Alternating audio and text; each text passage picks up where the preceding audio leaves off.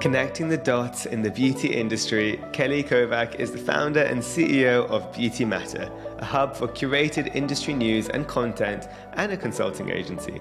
So stay tuned as we discuss her incredible career from beauty startups to empires. Everyone, and welcome to Founded Beauty, a podcast dedicated to beauty entrepreneurs who built some of the biggest brands today and where we learn exactly how they did it. We'll cover some of the most intimate stories, their path to success, and how they overcame the obstacles along the way. I'm Akash Mehta, CEO and co founder of Fable and Mane, a modern hair wellness brand inspired by ancient Indian beauty secrets. Building Fable and Mane has been an incredible journey so far, and I decided to launch this podcast as a founder keen to learn and connect with fellow beauty brand founders around the world. I believe in collaboration over competition, and so I'm using this platform as a way to hopefully help and inspire each other in what can be quite a tough and lonely journey. So if you are an entrepreneur or simply just curious how to build a brand, this podcast is perfect for you. So without further ado, I'd like to welcome our guest for today, Kelly Kovack. She is the industry maverick behind Beauty Matter, offering an unfiltered yet informed perspective on the beauty industry. As founder and CEO, Kelly has gathered her 25 plus years in consulting, advising, and scaling businesses to identify the blank spaces and emerging trends that benefit both experts and novices. Simply put, Kelly has shaped how we all approach beauty, and as a member of the first executive team at Bliss, Kelly broke all the rules and began a beauty catalog which was unheard of at that time. Fast forward to today, where catalogs have evolved into online retail, and Kelly's innovative method of hybridizing with other industries has become best practice. Now, also a podcast host herself and popular speaker at global beauty conferences, Kelly truly is a trailblazer, and I cannot wait for our conversation today. So, Kelly, thank you so much for being with us. Thank you for having me, Akash. It's nice to be on the other side of the podcast equation. Uh, so everyone who's listening in, me and Kelly, we actually know now known each other for a while now, and every time I meet you, I just get this like, like such a good energy and vibe. You're truly in the industry. Not only are you so well respected and rightly so, but my personal experiences with you have been anything shy but of incredible. So just want to preface that by saying it is personally such a honor to have you here in the podcast. So thank you for making the time. That's very kind. Thank you. So I asked all my guests the same question. I'm going to ask you who, okay. in a nutshell, is Kelly? Wow. Um, you know, I think I think Kelly is sort of a work in progress. Um, you know, I uh, my career has been anything but linear. If you look at it sort of on a piece of paper, you sort of are like, how on earth did did this kind of come to be? Um, and I think the connective tissue is really just this sense of curiosity.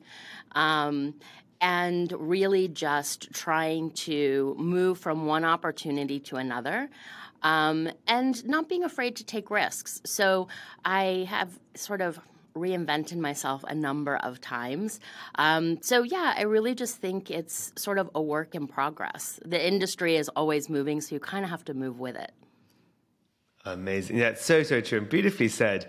I, I kind of want to go back to the. Is it, where were you born and raised, actually? I wanted to know. So, I was born in Montreal, Canada so most people don't know. I, I guess I'm Canadian by birth, um, but I grew up in Florida. Um, went to school in Washington D.C. I thought I, I studied politics and philosophy. Thought I wanted to um, go to law school, um, and ended up in retail, and then ended up in beauty. After school, I moved to New York. So I've been here for about thirty years. Wow. Okay. So at the beginning, so you're born and raised in Florida. Do, do you have any like early memories of beauty growing up as a, as a child? No, you know, I'm not one of those girls who sort of saved up their allowance to go buy lip gloss. I was I was a huge tomboy. Um, I played sports, you know, um, all through high school. Um, and I also went to a Catholic school my entire life. So makeup was like a no go. Um, so yeah, I, I, I think my early experiences really sort of came from my grandmother. Um, her nails were always painted. She had one tube of lipstick that she'd put on her lips, then she would kind of blot it with um, a tissue and then use it as rouge. Um, and she was always, always um, just sort of done. My mother was not like that, much more natural. So I think, you know, she's sort of my first kind of, I guess, experience with, with beauty um, in kind of a formalized way. Oh, that's amazing. So you moved to New York, and I know you've had an incredible career. I mean, I don't even know where to start. So, I mean, just tell us a little bit about your move to New York and then maybe your first few, uh, I guess, opportunities in the beauty industry that you kind of started to build in your career. Yeah, sure. I mean, I sort of I ended up in beauty by it was pure accident. Um, yeah. So I moved to New York um, after a couple years after um, graduating college. Uh, I was while in school, unbeknownst to my parents, I had took a full time job because I wasn't really interested in school. Mm. So I was running three Benetton stores as, as an assistant manager. Benetton was it was sort of the heyday of Benetton. Um, and so after I graduated, I was like, they they had been offering me um, a job all while I was in school. Um, so I just went and worked with them to open new stores. Um, my parents were not thrilled after having invested all that money, and as they said, I was folding sweaters. Um, but I was in retail. Um, and then decided I wanted to move to New York. Um, so got a job at Bergdorf Goodman in the men's store, um, sort of as seasonal help. Um, and then ended up in the the supply side of the fashion industry. Um, and it was one of those situations where I wasn't very happy. It was difficult to get a job for a number of reasons. Um, and I, a friend of mine was going to run the this spa um, and the spa is what we now know as Bliss. Um, and he said, you know, I need someone to answer the phones. You're not going to get a job during the summer anyway, so just come and answer the phones for a few month, months while we launch. So I said yes. Um, Marcia uh, asked what I did. I was running supply, um, sales, and, and production for a leather supplier. Um, and she said, well, she can run our catalog. So Marcia wanted to do a catalog. Um, none of us really knew what we were doing. I said yes, um, and her apartment was two blocks from my apartment in the East Village, and that's where the Bliss catalog was born, and that's how I got into the beauty industry. That's amazing. Uh, so, your your career in the beauty industry has been quite phenomenal. I, I mean, from Dr. Dennis Gross to the, all the others. Tell us a bit about kind of, again, like, it's going to be hard to summarize, so we could do a whole podcast on your career. But generally speaking, if you were going to summarize it, it would be very us. boring. But yes, I suppose we could. It would not be boring, but I mean, to yourself because you've done it. But for us, I'm like, whoa, this is so like inspirational. This is so cool. But yeah, go go for it. Yeah. So you know, I think for me, um, Bliss was where it was really the light bulb moment of my career where, you know, I didn't realize. So this was in 1996. Yeah. yeah. Bliss launched in 19 March 1996. Um, and it had never occurred to me and this so this was also just you know for the younger people listening this was before sort of online um, e-commerce or even real websites existed. Um, so it was very much sort of a print world. Um, but beauty, you know, the beauty industry did not sell through catalogs. So this yeah. was a, a, a, period where Marcia is this really charismatic, visionary marketer. We were um, Michael, who was my friend that got me there, we were all round about the same age, all lived downtown New York. So it was one of these things where it was right time, right place. We all sort of got it, right? Um, and it's when I realized that you could be creative and run a business. And that I was like, okay, I'm I'm good at this. I didn't even know this existed. And that sort of kickstarted it. Um, I stayed until the sale to LVMH in 99 and then um, sort of went on to have various incarnations of um, advisory businesses in different shapes and forms, um, working with sort of startups, cleanups, um, some some of the big beauty brands, some fashion brands. Started a couple um, brands along the way. So I uh, partnered with Ji Baek from Rescue Beauty Lounge, a business yeah. that doesn't exist anymore, but she really um, kind of revolutionized in New York the idea of getting nail services. And I was a client, and then we launched. Um, nail products, and this was sort of when nail lacquer was not sold on shelves. It was on in dusty baskets um, under the counter.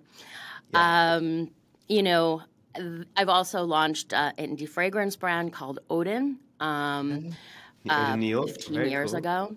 Um, but you know, I think, and it's interesting because from the outside looking in, these brands were much bigger. They looked much bigger than they were. There was an opportunity um, to, to exit that in both of them that didn't happen for various reasons. Um, and most people, sort of in today's construct of exits or raising money being the the sign of success, I suppose they would were failures. But I never mm. really.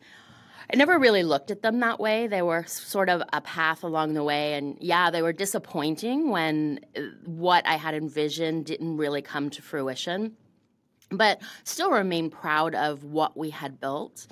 Um, and sort of looking back, you know, all those experiences kind of give me the unique perspective I have.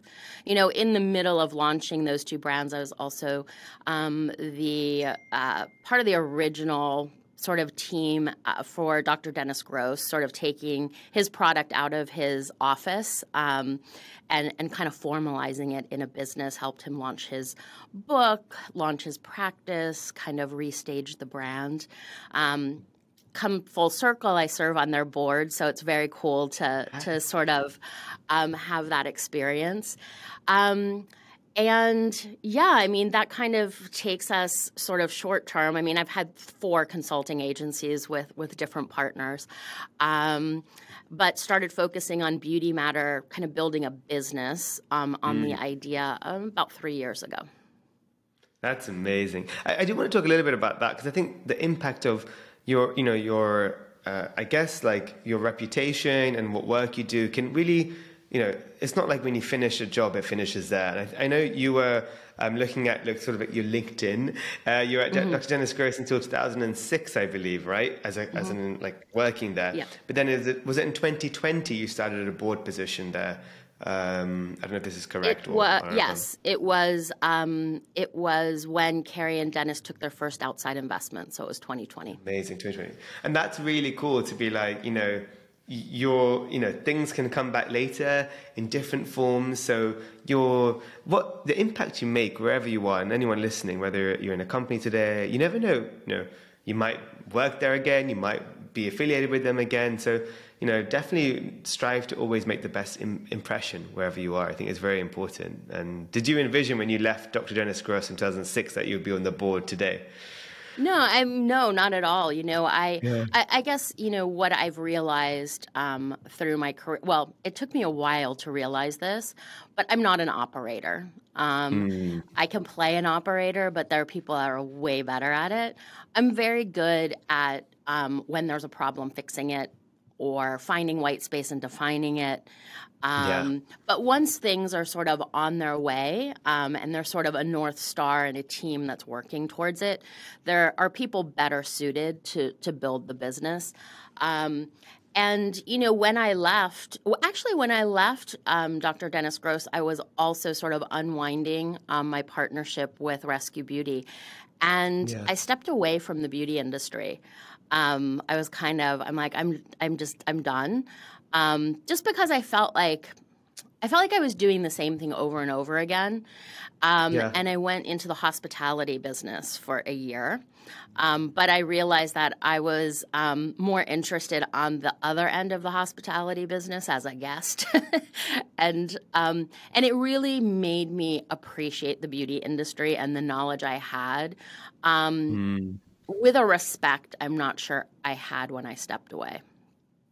That's amazing. No, thanks for sharing that. I think it's very, uh, again, we can learn so much from you. But I think the most exciting thing now to learn from is how you created Beauty Matter. Because for me, It's one of my. Uh, I, I read it reg- daily, if not regularly. I try to read it daily, but sometimes I'm bad. Um, but but I love the roundups you do on your emails because that's how I'm like, oh my god, and then, and then I go back to reading what I missed, you know. Um, but what you've created, this whole, I guess, um, universe from uh, whether it's the reports to the, the, the news articles to the podcast, it's incredible. But we'd love to know how it all began and first and foremost how you came up with the name Beauty Matter. So, you know, I think it's it's sort of how I've started all of my businesses.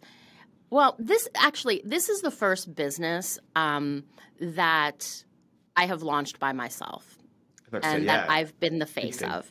So, yeah. my entire career, I've had partners. Um, even though there are people in the industry who are like, when are you just going to do your own thing, Kelly? Like, this is crazy. I guess I'm a very slow learner. Um, but you know, I I felt the the story I told myself was that I was very collaborative and I liked working with teams, um, and that's why I had partners.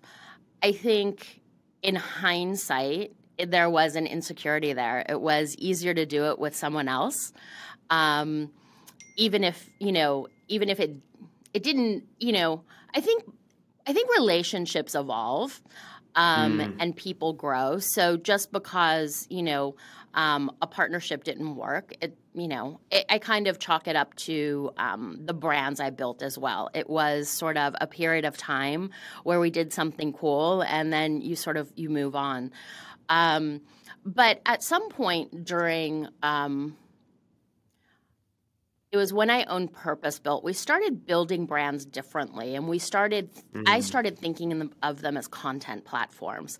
So instead of building a really nice brand story, I deconstruct the brand story and think of, you know, how these different elements could be um, could be activated for content. So this was about 15 years ago, where I, people weren't really thinking about it that way, um, and it made me people also were asking me to to write and i'm not a natural writer it would take me two days to write 500 words it was so painful um, but i did it because i had to market the business and I don't know. Maybe I think it's because I don't have a filter.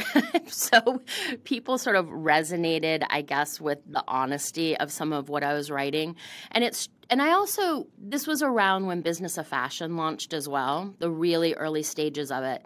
And I thought what Imran was doing was so fresh. And I was like, why does nothing like this exist in the beauty industry?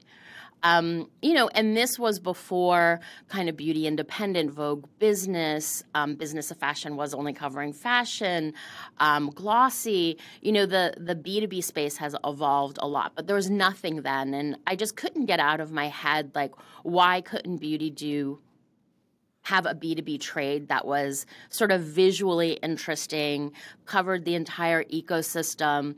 And it rattled around in my head for about five years because I know how to put goop in a jar and sell it. I, I don't know anything about media. Um, I didn't know mm. how much it would cost. I didn't even know where to start. I just had this idea that I couldn't shake. Um, and, you know, sometimes the universe puts opportunities in front of you, and two people came out of a big ad agency um, and wanted to work with me. Uh, I said yes because I needed their skills, but with the caveat that they had to help me build this. Um, and you know, the name, I don't even really know where it came from. I think it was, you know, it's really hard to name brands now because you have to get the URL and the yeah. trademarks Trademark and, and, it's it's yeah. gotten much more complicated.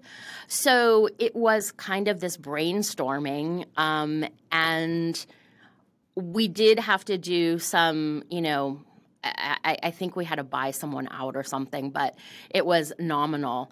Um, but yeah, it was the name wasn't clear in my mind, but when it was available, it became clear. And I really launched it. I had no way of quantifying there was a business yeah. here. I just, in my gut, I knew.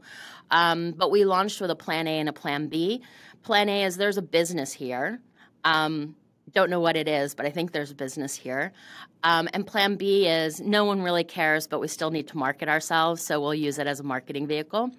Hmm. And we went out and built it and started as sort of just curating content or aggregating content. And I would ask people, you know, what they thought of the idea and kind of spent about a year building it. And John Caffarelli, who's our COO now, was a client who became a friend. And I had breakfast with him, and he's like, When are you going to launch this thing? Just like stop talking about it already. And I was like, Oh, it's not quite ready. And he told me, He's like, It's tech, Kelly. You have to launch with an ugly baby. And I was like, Yeah, but we've met. I really do ugly babies. So, um, and you know, listen, I, this was at a later stage in my career. So I didn't feel yeah. like I had and maybe this is just my type A. I didn't have the luxury of failing. Like if I was going to do this, it had to be intentional. And six weeks later, we launched it. I listened to him. And we just launched it without a plan and a newsletter. And I was working with Old Navy at the time. I was on site there. I came back to the um, the hotel, and my inbox had exploded. And I was like, okay, so I was right, but now what do I do? I, I literally now didn't have a plan for it. So that is how Beauty Matter came to be. That's sometimes the best way. And I think it's kind of like led with instinct, but also with community. Like as you build it and more, and more people reach out to you, you can see what people are looking for and what people want. And, and I think it's very important, even if you have an incredible career, is to think about okay, but we're now in whatever, 2020 and 2021, 2022. Every year is different. And like, it's like I can tell you, like I used to be a social media whiz, expert, but going mm-hmm. to do all these talks. Now I'm like, I'm not qualified. Like I don't know what it is today as it was last year. And I think when you build something built on agility and community, and not necessarily so thinking about this is what I know, this is what I should do, this is the business plan for three years. I think, you know, that's today we have to build it that way. So I think you built it in the perfect. So I would love to know a little bit like how did it like what came first and like eventually now what it is you know i know recently yeah. events and awards but what was what was how did it start? Yeah so when i realized that um you know a lot of people reached out and wrote very kind emails people who are very busy and have better things to do than write me uh, long emails. And you know i went through a period of are people being nice or is there something really here? And mm and what is that? Why are they making the comparisons they're making? Um, and I was really, really busy in my advisory work, and we hmm. were mm. kind of. Um, you know, kind of in the middle of a growth spurt for Odense. I didn't really have time to focus on um, on Beauty Matter, and I people were gonna were asking me, "Are you going to raise money?" I'm like, "Against what?" Like, I don't even really know what I'm building here. So I did it on the side um, for three years. We we sent out three emails a week, 18 pieces of content for three years with no pressure of the business making any money. Um, and I think in hindsight that I mean it's not it's a luxury that most people don't have when building a business. But yeah. um, I was fortunate enough to you know, and it was also helping um, the consulting business as well. I think people yeah. in the industry were like, "What is she doing over there?" But I was figuring things out, um, and you know, we evolved the platform. So it started as just aggregated content um, I found that I read a lot more more than most people and different sources than a lot of people were reading. So aggregated the content. Then it, we'd start doing some of our our own. Um, we were always doing sort of the deal flow. So the deal yeah. flow that's turned into the M and A report was something I was doing even pre Beauty Matter um, as a as a marketing thing. Um, yeah. And slowly we evolved it. Um, I'd get interns, we'd write. Um, and I knew that at some point I would focus on the business. I didn't I didn't really know when. Um, yeah. And I had a really large consulting project that ended. Um, and that was about three years ago. Um, and John had, had, was the COO of Paper Magazine, and they had just exited Paper. Um, so the timing was good. So I went and asked him again do you want to do this thing with me with a four page powerpoint of what my what my vision was? Um, and he said i'll give you six months let's see. Um, and that's when we really started building a business on top of sort of this this community and and brand. Um, mm. you know i was comparing our our sort of um, our traffic and, and engagement against you know, business of fashion and women's wear because those were our competitors. And so we paled yeah. in comparison, but I didn't realize um, that the numbers for purely sort of organic traffic were quite high. And so once I, I realized that, I was like, there is really a business um, to be built. And to this point, it still has been totally organic. We haven't spent a dime on acquiring. Um, yeah. users or anything. Um, so yes, it, it sort of um, you know we've slowly business vertical by business vertical proved out um, sort of business thesis business theses um, and revenue models. So first was I had to tell people it was no longer free. yeah. Um, we had to switch to subscription, which was painful. Yeah. We also started at one point the the M&A reports were free as well. We had to start charging for those. So, yeah. you know, you have to break you have to break that habit of it being free. Um, and I, I, you know, when people would complain, I would just kind of joke about it. I'm like, I'm, I'm not running a nonprofit. Like, I've got bills to pay, like everyone else. Um, and then we started doing what we call marketing services. So, um, you know, John and I have been owners, operators, investors. So that's our secret sauce. That's our vision through which we do everything. Um, and we're hyper focused on delivering value. So, um, you know, we have a lot of really deep relationships. So, advertising. Um, and then just this year, we launched, we did our first event in LA, which you yeah. traveled to, which was amazing, amazing. Um, and awards so that's kind of up to speed where we are today. Those are kind of the business verticals. And, and, and I don't say this lightly, and it was definitely, if not the best, like beauty event I've been to, like Summit, and and the fact that it was your first is is, is incredible.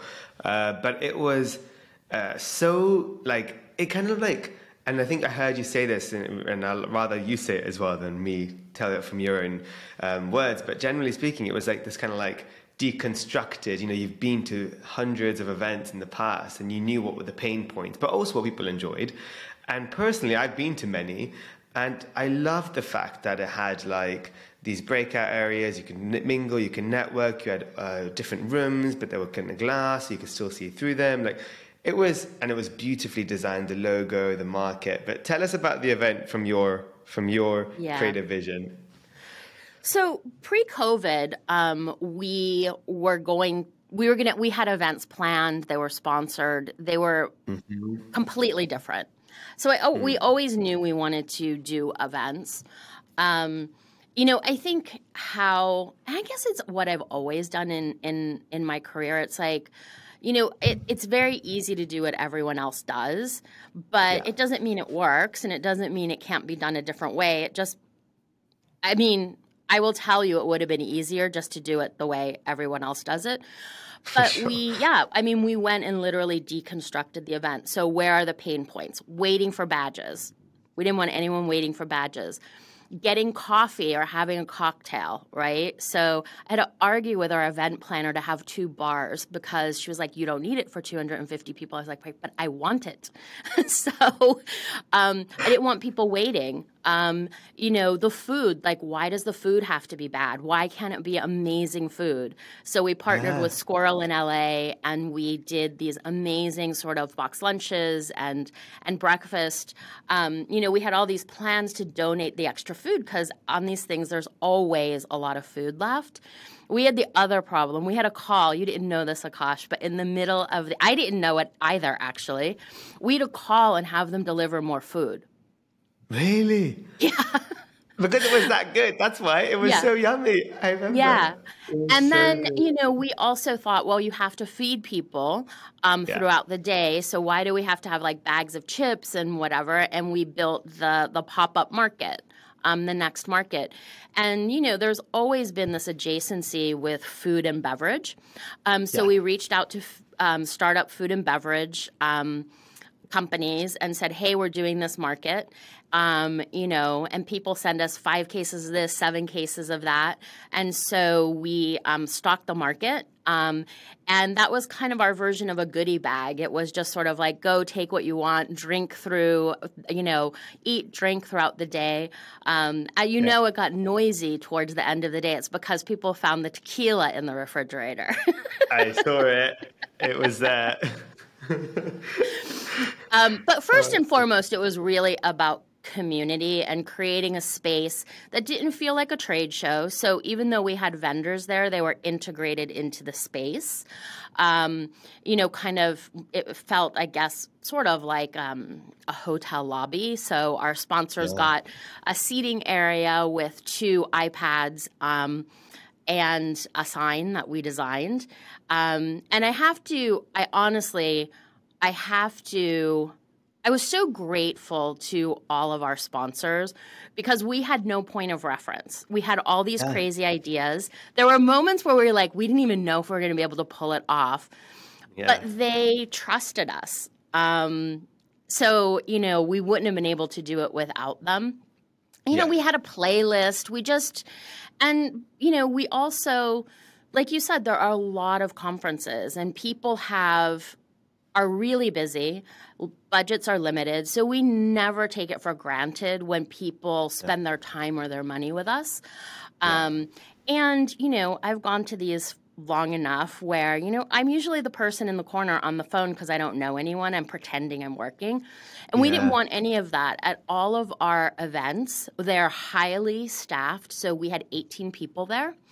Um, and their job is not only to sort of make it run smoothly, but if they see someone s- sitting, standing by themselves, we try and engage people. And we want people to know that if you come to our event, you can come by yourself and you're going to have a good time.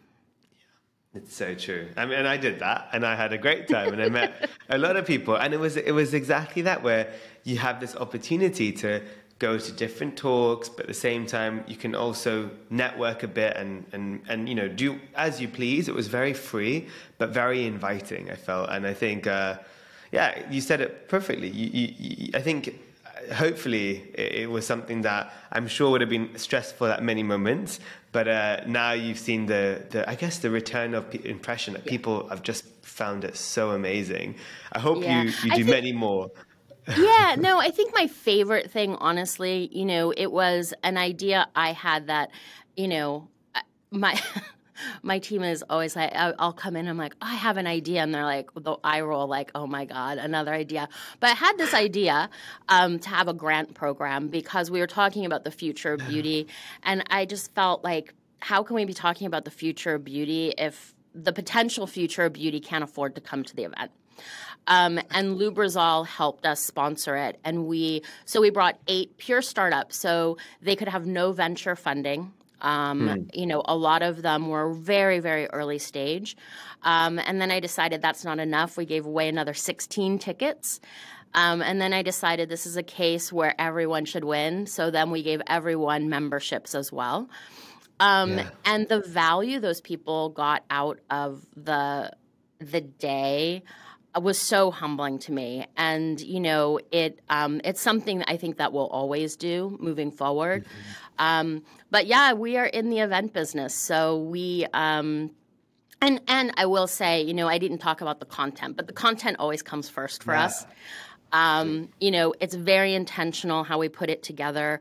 Um, you know, our revenue model does not include people paying to speak, so you cannot buy your way on one of our panels. Not to say our sponsors aren't aren't um, involved because yeah. if they bring value to a conversation, of and course we want them.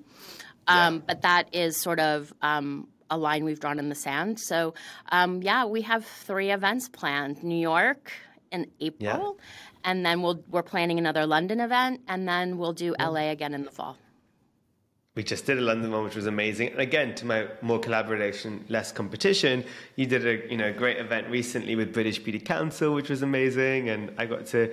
Thank you for inviting me to speak there as well, and uh, it was so fun. Uh, such a beautiful location, and again, you did it again. Just brought a really, I think, a really good group of people together uh, with interesting conversations, but also in a very comforting, uh, very inviting uh, atmosphere. I think that's what you're really good at. But I think that's Well, you as well, right?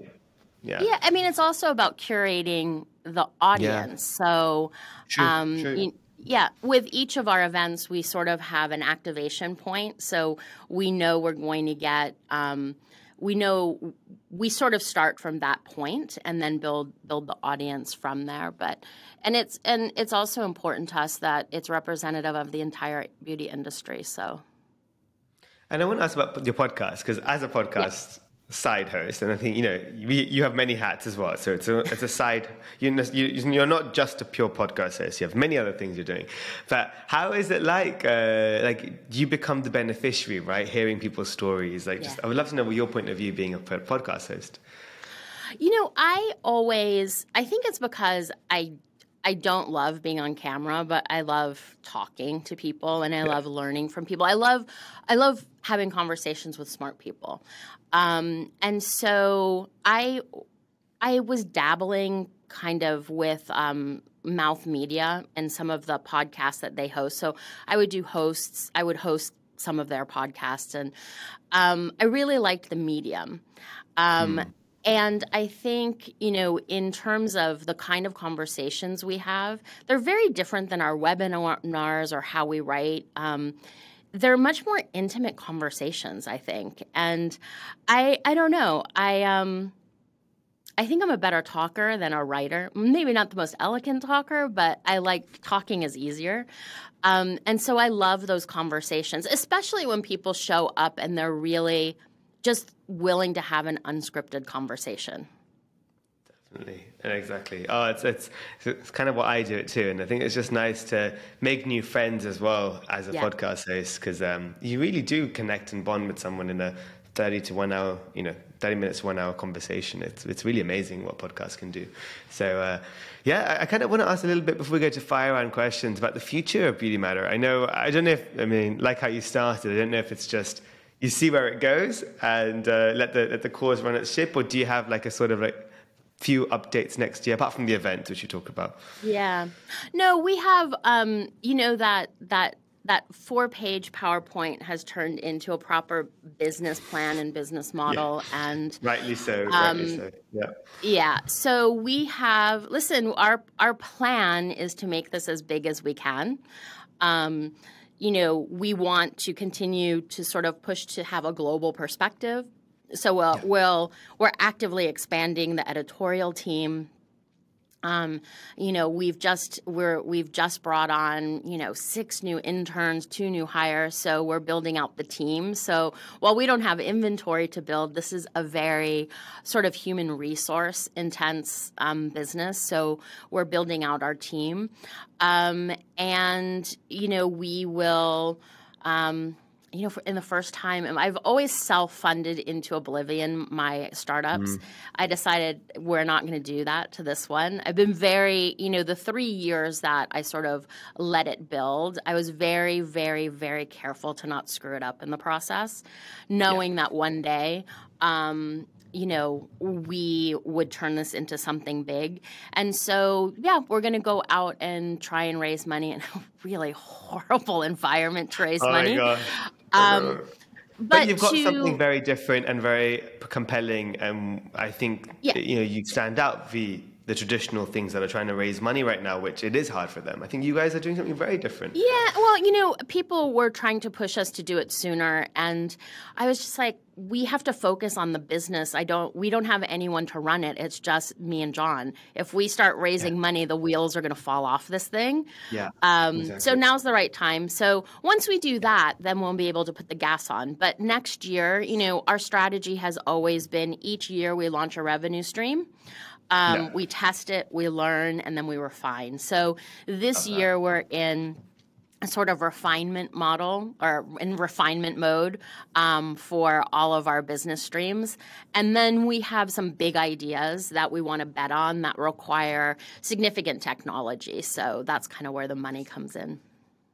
Amazing. So excited. So, I mean, I asked one of my guests a uh, kind of uh, desert island situation. I was thinking, Uh, how do I how do I do it with you? I was, just now I was thinking about that. And I was like, okay, so I'm gonna do this. So I'm inviting you to a founded beauty retreat, but like Succession style. I don't know if you've seen Succession. It's a. I'm obsessed with Succession? Succession? Yes. It's an Apple, right? Am I, no, am I, yeah. the wrong one. No, it's on HBO. no, I'm not thinking about Succession. I'm thinking about what's the oh. one where it's Severance. That's what oh, yeah. That's another one, right? totally so different. very different. I actually am obsessed with both. I love Succession, but Severance. Um, this is when I don't come up with it. I don't plan in advance. This is what happens. But basically, I'm thinking of a Severance situation where you're coming to Founded Beauty Retreat, but you can only bring one memory with you. What is one memory from building Beauty Matter that is something really close to your heart? I honestly have to say it's you know for me it's usually the most recent thing it was really yeah. walking into the event yeah. um, in la and sort of seeing the community that we've nurtured for six years mm-hmm. kind of in real life yeah. And then also seeing sort of how people experienced it on social. Um, and I was really proud for the team because everyone everyone worked so hard um, yeah. And I think there were moments where we're like, can we pull this off? Um, and um, and our partner, um, our partner Black Box, the the creative agency, and my my very first business yeah. partner, who saved us. Um, uh, you know, without them, we couldn't have done it. So I was I was really proud of what we had done, but and and of the team and um, and our community for showing up. I was really humbled by that. So. Oh no! And yeah, Black, are they the ones who created the most incredible award that you guys so kindly gifted me? Were they the ones who did the red one? I don't know. Yeah, so they're the ones who did all of the um, all the video that you saw. And by the yeah. way, all of that video, the video, the photography, it was all stock video. Like we paid for nothing. It was all royalty free. It's amazing. Um, it looks so good.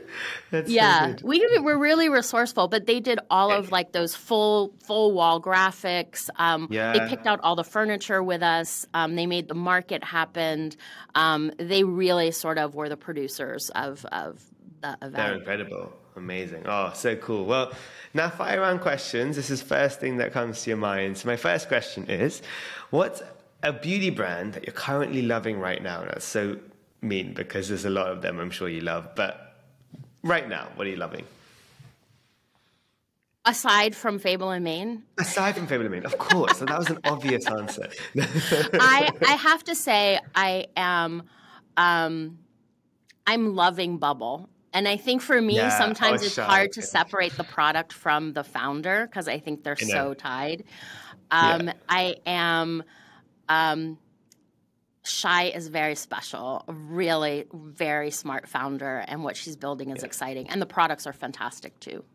Exactly. I love Shai. I just had dinner with her recently in New York, and she is a she's so inspiring. But also, what I love about it is she's like the complete polar opposite to the typical beauty founders yeah. that you see, right? So when I have conversations I'm like, oh, like I'm an engineer for four years, right? I'm not really someone that should be traditionally in this industry. So it's just really cool to like have conversations with her, and I think also yourself as well, right? It's like it's nice to have that different conversations, yeah. but also then take those ideas into the beauty industry. Well, well, it's also interesting when everyone, you know, she's a performance marketer, and while the entire yeah. industry is all about speed to market, how fast can I launch things, she's launching products on a two year development cycle and and and not with profit in mind. She's really doing it with the community in mind. Right? She builds yeah. it with community, but she also like sacrifices margin to get the best price, which I think yeah. she's she's she's doing something very special. And the name yeah. is is pretty awesome. It's very cool. I love Bubble.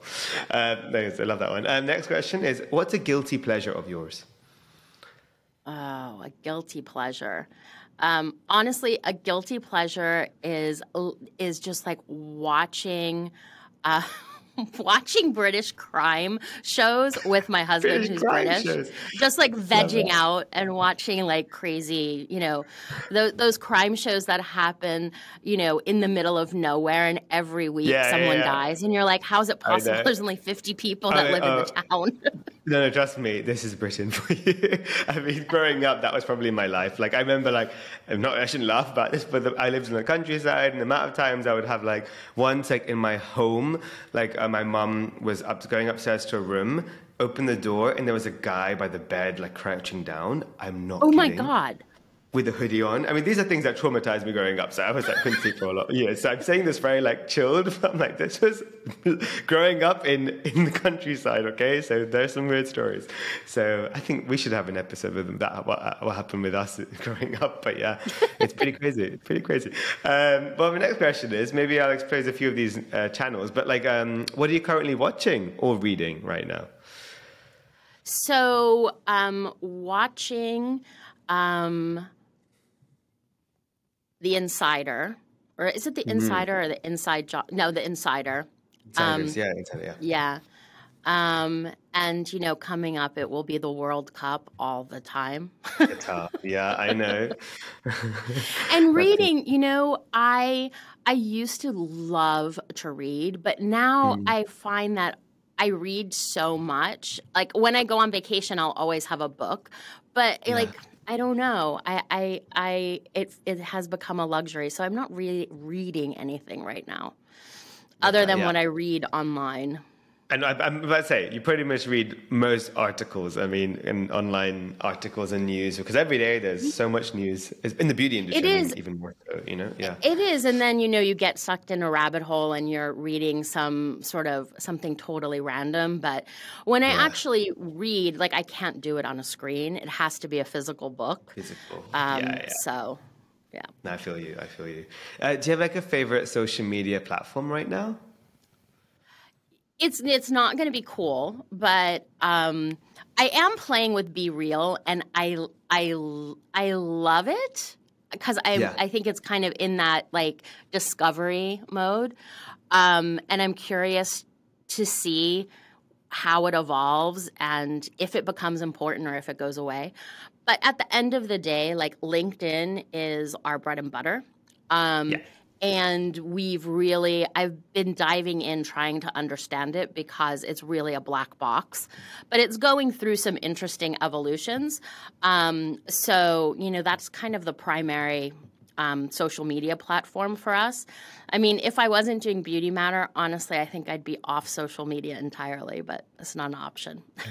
I know we have to. Unfortunately, this is the world we live in for businesses. But, but yeah, I think if we're mindful with our consumption, we can we can live with it. I think. Um, my next question is: What do you have like a favorite quote or like a saying that you keep close to your heart? Um. Oh my God, I should have prepared. Did you give me these questions before? Should I have prepared for this? to be fair, it's meant to be like last minute. But you know, one of the funniest thing is, is I like if I got asked this question, I'd be like, uh, I have so many, but I don't remember any of them. You know what I mean? It's that kind of thing. But um, Yeah. so I kind of like I kind of say, do you have like something like like you know like just like be humble or or like just No, you know, Be- I I don't know. I I don't know that I'm sure it's a quote that I found somewhere. Um but it's it's this idea of always be looking. yeah, I like that. That's so cool. Just yeah. like always be looking Be because you Yeah. you never so it's I don't know that it's a quote more of just sort of a way of being but always Mm. be looking because you never know where an idea is going to come from or who you're going to meet and um and yeah I mean I guess I kind of tell the team that too it's like you just always have to be looking Yeah. You never know till you know, and I think you have to just try Yeah. uh, and be curious. Uh, my last question is if you weren't currently like in the beauty industry as an entrepreneur in the beauty space, what would Kelly be doing right now? Hmm. You know, I, I feel like um, I feel like I would, and maybe I still I will on the other side of this, um, do something in sort of the nonprofit um, Yeah. world. But I think I, I think less nonprofit and more sort of social entrepreneurship. An impact. Um, yeah, exactly. So we do a little bit about, well, you know, we have uh, an, an impact um, initiative. We've decided our impact initiative actually is to amplify the work of others.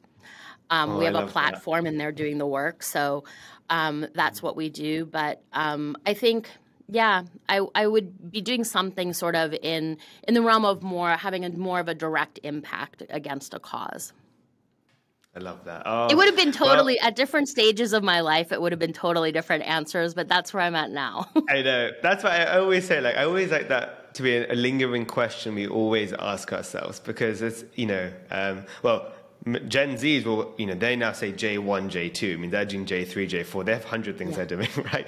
But generally speaking, I think it's always good to think about you know, sometimes we're in it, we love it, we can't see anything out of it. But if I was, like I was, who was I? I was with like Inga from FaceGym the other day, and she was like, if I was, I'm gonna, if I wasn't doing this, then I'm, I'm gonna do this. I'm gonna have a goat farm, and I'm like, you know what? Yeah, do it.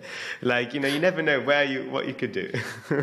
yeah, yeah. No, I, I think that, um, yeah, I think that's what I would, I would take my knowledge and then maybe do sort of a social. Like, I don't, I don't know that okay. I'd ever build another brand. Um, yeah. But I might build a brand um, yeah. to fund a cause that I believed in. That I could see myself uh, doing. That, that's exactly what I'm doing with Fable. My exit will be um, predominantly going to my fund, which is to help wildlife conservation because you need money to do good. Trust me, exactly. like we all know. so, and so I need to think about revenue, but then I think my drive is also thinking about it for others, not just for my pocket, which gives yeah. me more of a purpose. Because after a while, I'll be like, okay, well, how much is, you know, where do you stop? But then if I think there's a bigger cause in the way, which I'm helping, I think that's my driving beacon. So I think most people should strive to have that as a form of their return of impact, right, with their time in the business is how can we yeah. build bigger causes? So you're doing that with Beauty Matter anyway, so it's kind of like a two in one question, but yeah, it's very, very cool. But Kelly, it's been such a pleasure, as always, speaking to you. We could speak all day, but um, I know. I, I, know we have businesses to run, so I'll let you free. But before you go, where can everyone find yourself and Beauty Matter? All the links, let us know. Yeah. So um, it's beautymatter.com. Um, and on most social channels, it is Beauty Matter. On Instagram, it's Beauty Matter Official. Um, yeah. And our podcast is called It's a Matter of, which Akash, we're film, we're film. I say filming. We're recording our next season in March, so you have to be the 1st guest coming on without. I, I was. I was. I was going to ask you, but I was like, let me. I, I was like, I'm going to demand it. So now you asked me. I'm like, yes. I'm no, yes, I, I have my. I'm building out my list now, um, and so yes, it's it's uh, it's a matter of, and it is, um, you know, on all the obvious podcast channels. It's one of my favorite guys. And I'll, I'll, I'll, put all the links, including Kelly's Instagram and um, socials, and, and in the summary so people can just go tip click straight away. And Thank please you. do subscribe to It's a Matter of if you're subscribing to this, uh, so you can have your two beauty podcast destinations, and um, and I'm sure you'll have different learnings in both. So please do. And Kelly, I'll see you very very soon, either in the yes. states or here. And just more stuff we'll be doing together. This is just the beginning. All right, yeah, I'm excited. It's been such so nice to get to know you, and yeah, we're just getting started with our collaboration. Just getting Gosh, started. Watch out. watch out, everyone. Watch out.